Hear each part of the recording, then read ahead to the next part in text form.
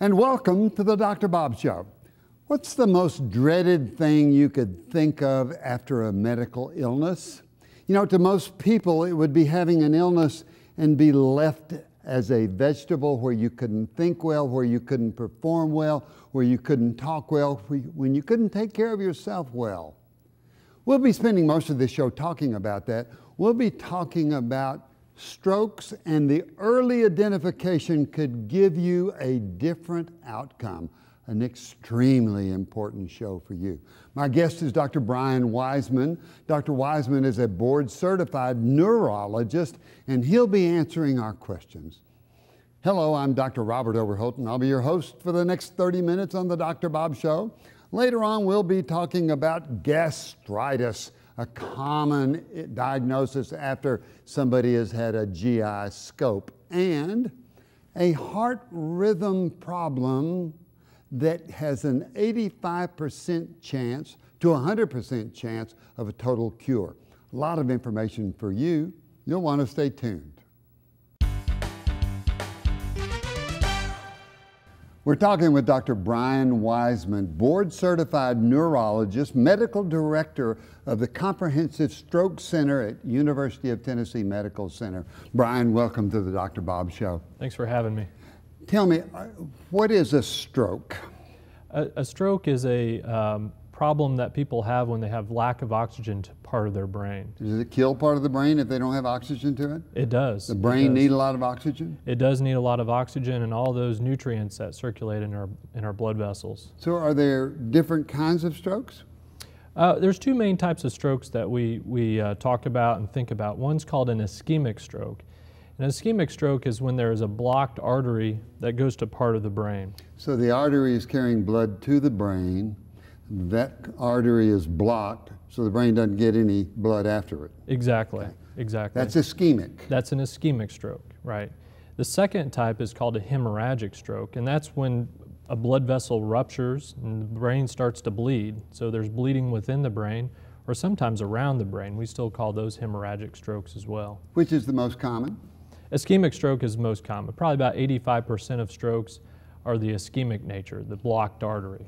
From an ischemic stroke standpoint, where the blood supply is blocked off, is there an age group that is more common, real young people or older people?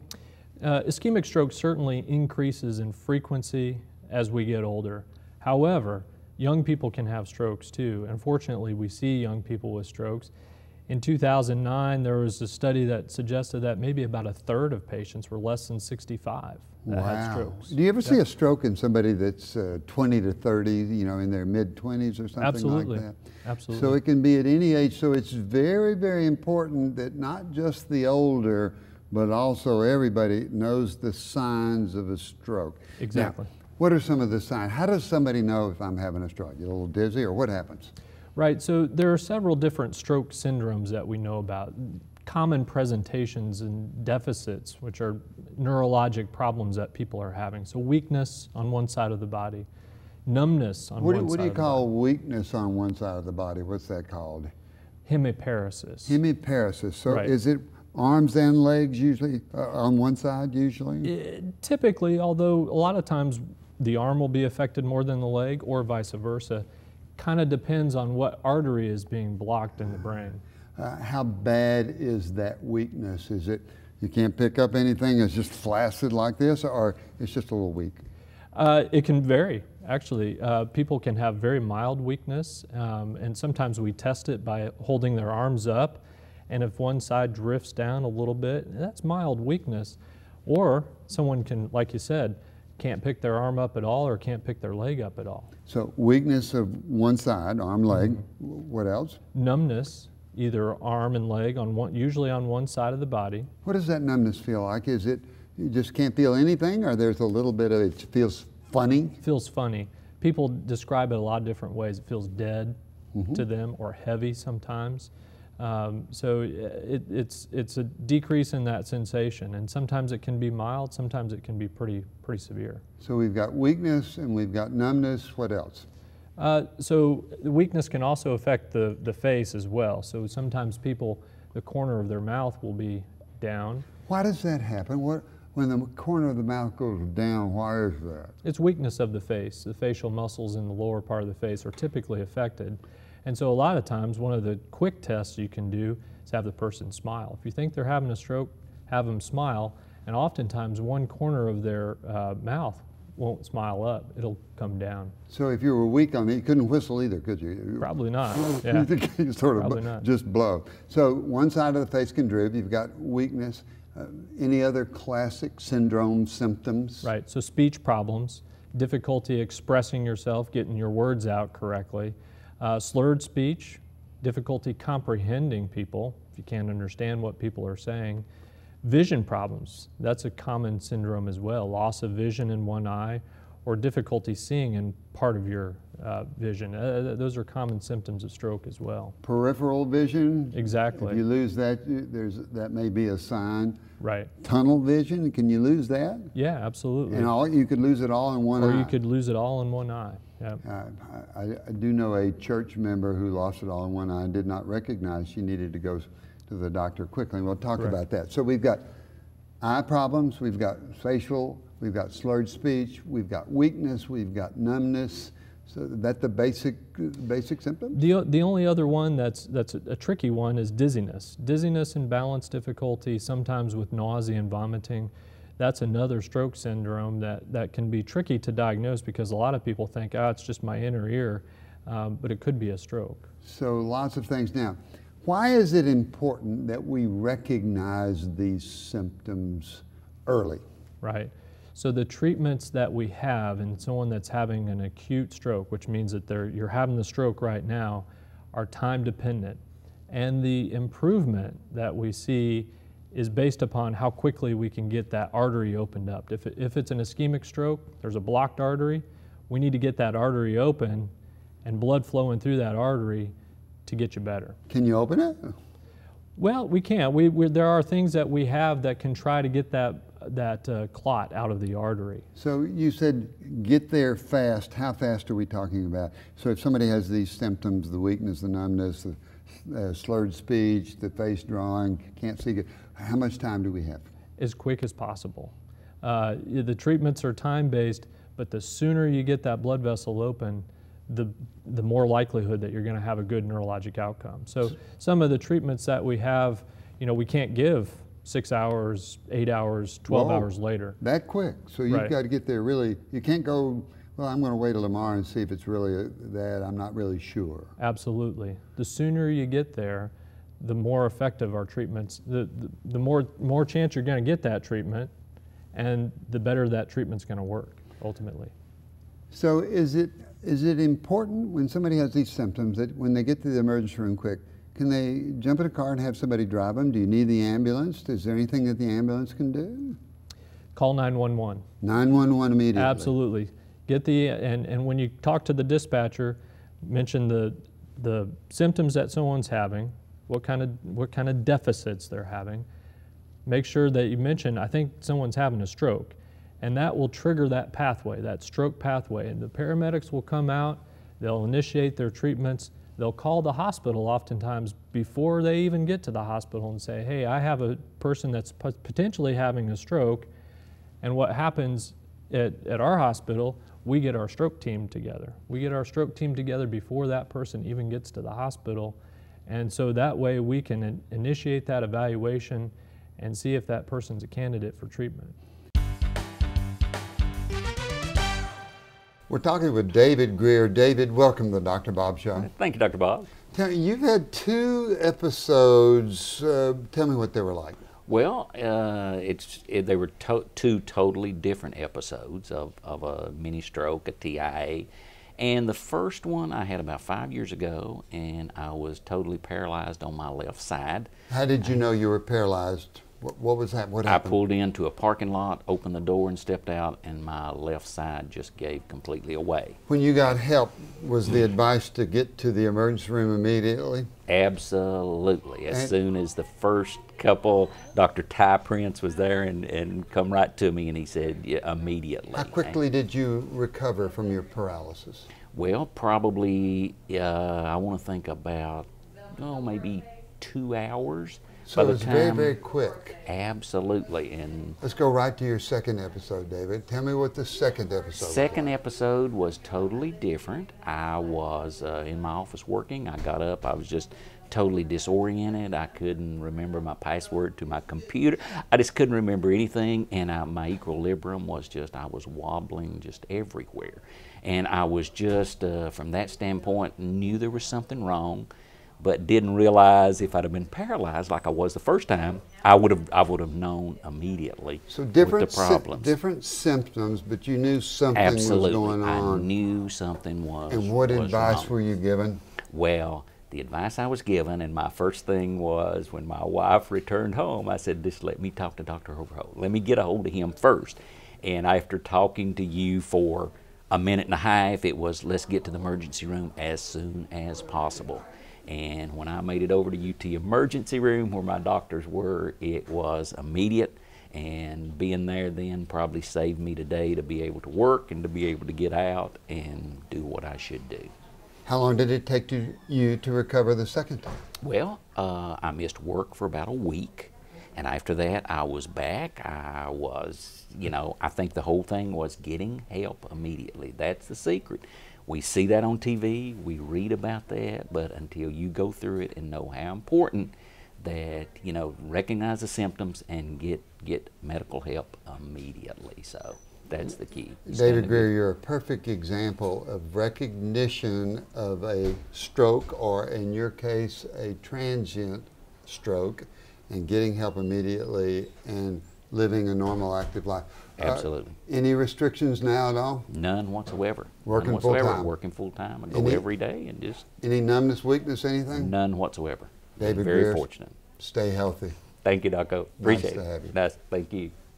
We're talking with Dr. Brian Wiseman, board certified neurologist, medical director of the Comprehensive Stroke Center at the University of Tennessee Medical Center. Brian, great first segment. I think the thing that's most important is that early recognition of sign. Is there sort of a mnemonic on that?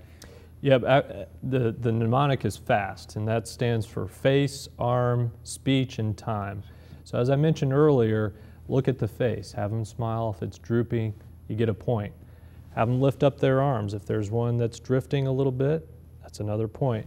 Have them say a phrase. You can't teach old dog new tricks. If it's slurred, or if it's they can't speak, or if they have difficulty comprehending, that's another point. Any points, T is for time. Call 911 um, and get those uh, paramedics out as quick as possible. And when we get them out as quick as possible, we get to the hospital, we get to the emergency room, and we have the team. Tell me about the stroke team because it sounds like that's very important. It is. So um, at our institution, we have a, a, team that's composed of a pharmacist, a, uh, a lot of times a couple of nurses, an ER doctor, a neurologist, uh, and then laboratory personnel, CT scanners, uh, radiologists, a whole group of people that know about you and that are working hard to find out what's wrong with you and how to in- initiate those treatments as soon as we can. So when somebody comes in, your first determination is to find out if it's a bleed where there's a lot of blood in the brain or whether there's no blood, the ischemic stroke. How do you find that out? Well, the first thing we do is a very quick examination and a quick history. And then we get you right to the CT scanner as, as, as, fast as we can. And that CT scan, the CAT scan of the head, shows us is there a bleed in the brain or is there not uh, uh, a bleed in the brain. If there's not a bleed in the brain, then it's a blocked artery. And, and we need to figure out where that blocked artery is and how to get it open as quickly as we can. The CT scan of the brain, if there's a bleed, did it just show the blood that's in there? What, or it, blood accumulates and pushes? What is the key to a CT scan? I really don't know. A CT scan, uh, a bleed on a CT scan will show up bright white, and it, it almost looks like the, the bone is white, and it almost has that intensity. That, that uh, blood is very easy to see on those CT scans. So when we look at that, we know almost immediately whether it's a bleeding type of stroke, a hemorrhagic stroke, or whether it's an ischemic stroke if we don't see that bleed.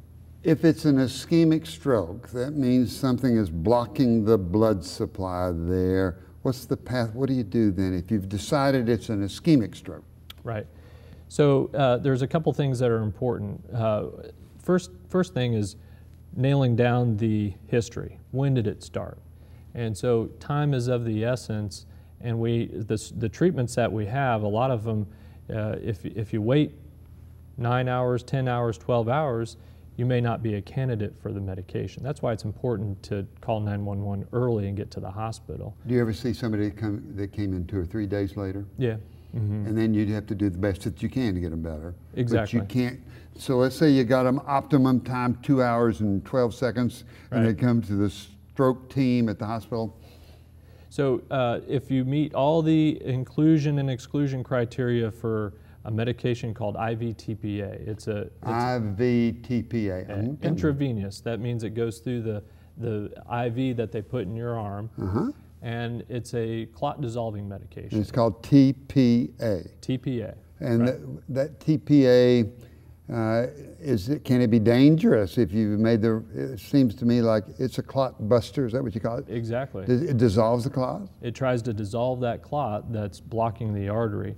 One of the dangers with TPA is because it dissolves clots, it can cause bleeding. And so that's one of the, the risks of using that medication is could it cause bleeding inside the brain or elsewhere for that matter.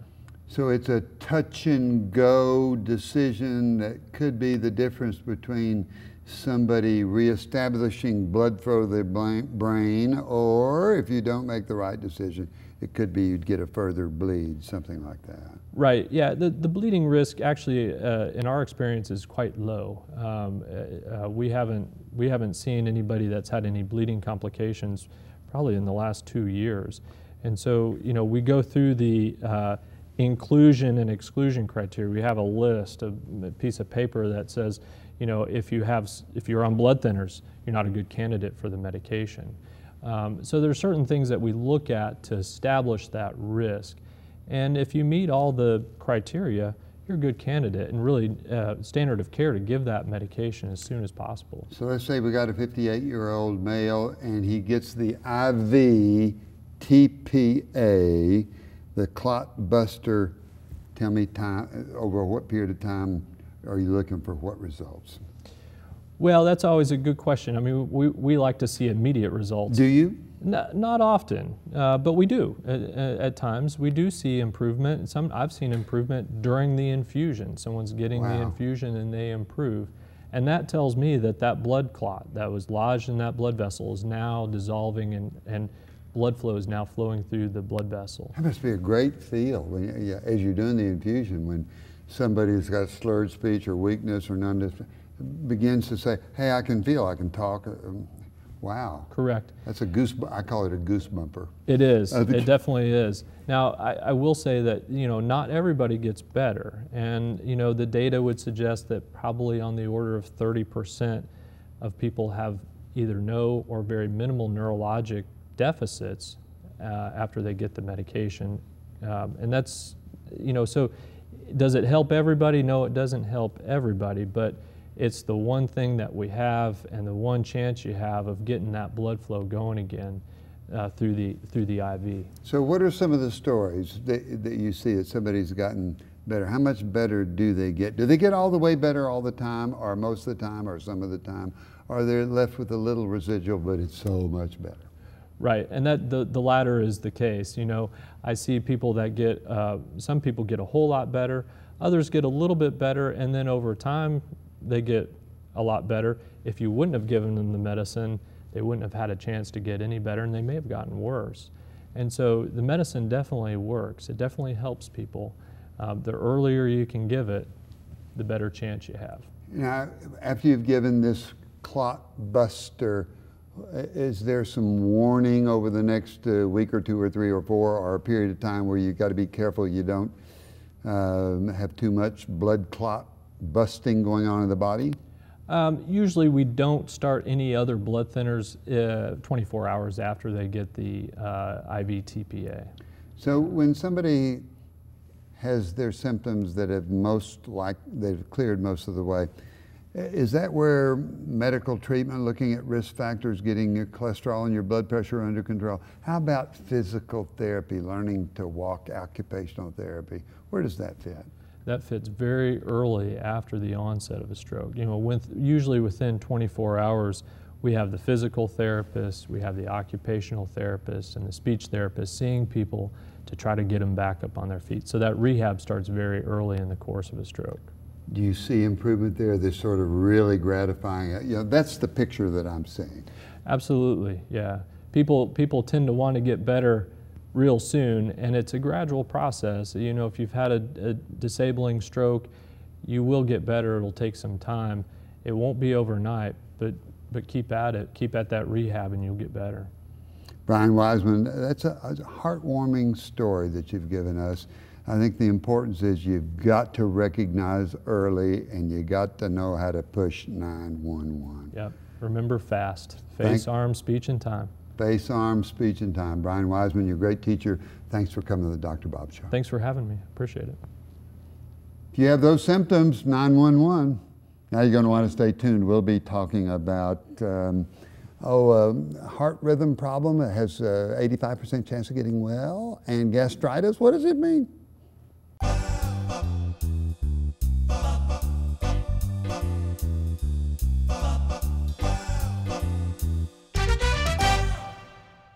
I want to thank Dr. Brian Wiseman. Wonderful discussion on strokes and how the stroke team can get you better. Remember 911. And now for questions from you, the viewer, that I think will be important to your health. Question number one, Dr. Bob. I had a stomach scope, and the doctor said I have gastritis. What does that mean? Well, gastritis is inflammation of the stomach. There are several things that cause gastritis inflammation of the lining of the stomach. It could be medicines like ibuprofen or aspirin that irritate the stomach. It could be too much alcohol that irritates the stomach. There is a gastritis with a B12 vitamin deficiency. Sometimes just having a GI upset where you have nausea and vomiting, the vomiting can cause irritation of the stomach. It can be due to the same bacteria that causes ulcers, and so lots of things can cause gastritis. If you had a scope, your doctor will be able to discuss the probable causes with you and will be able to put you on a treatment program. Usually, gastritis will end up healing itself with proper medications. Question number two. Dr. Bob, my doctor says I have PAF. Well, PAF is paroxysmal, that means intermittent, atrial, that's part of the heart, fibrillation. So it's atrial fibrillation, but it comes and goes. And there's a natural history of that where it may just be little, just little, it makes you feel like somebody said boo, and then it will last maybe 30 minutes. And then three or four months from then, it may last 30 minutes, and then it may last an hour. And the time intervals become longer and longer that the irregular rhythm occurs, and the time interval becomes shorter and shorter, to where eventually, once a week, it may last for seven hours. Prior to that, it usually goes away on its own. After it gets to be where it occurs weekly for seven to 12 hours, person needs to be on a blood thinner and we need to talk about treatment. The treatment for that, intermittent atrial fibrillation getting more frequent, the history is going to be eventually it'll just be long term. So at this time there can be cardiac ablation. Now, ablation means where they'll do a heart cath, they'll stimulate the heart, they'll see where the irregular rhythm is coming from, and they can laser that area and make it go away. Now, what they're actually doing is they're scarring down that tissue. And it's at a certain area of the heart. When blood goes to the lungs, it gets its oxygen, it comes back to the heart in the left atrium. That's the pulmonary vein that's carrying blood from the lungs. And it's where that inserts to the heart where most of the irregular rhythm, the atrial fibrillation, starts. So if they can laser that area, they can scar it down, then it keeps it from occurring. So that's the way it's treated if you've got paroxysmal atrial fibrillation. The first time they do the ablation, 85% chance they'll get it to go away. If it doesn't go away with the first ablation, almost always the second time and you've got a cure. You have to find it, it has to be the right person, the right time, but know that that treatment is successful. Well, that's all the time that we have for this show. I hope you've enjoyed it as much as I have. Remember, let's keep away from all those troubles like strokes, like atrial fibrillation, by exercising. Exercising helps protect the heart. It gives collateral circulation, reduces blood pressure. It makes you feel better. You'll get a runner's high. Eight hours of sleep, seven and a half hours sleep, you'll feel better, you'll perform better, it'll make you a better person. People around you will be happier because you'll be ha happier. You won't be, get behind in your work. If you're not sleeping well, talk it over with your doctor. Start that day off with a great breakfast and make your eating habits better. We're marketed to eat too much in the United States, so watch what you eat, eat good food, and enjoy eating rather than dieting. Have fun eating, but eat the right foods. And most of all, what is it that we like in the Dr. Bob Show? Well, it's that laughter in your life. Be sure you find somebody that you can giggle with, that you can have a good time. If you laugh a lot, you will stay healthy.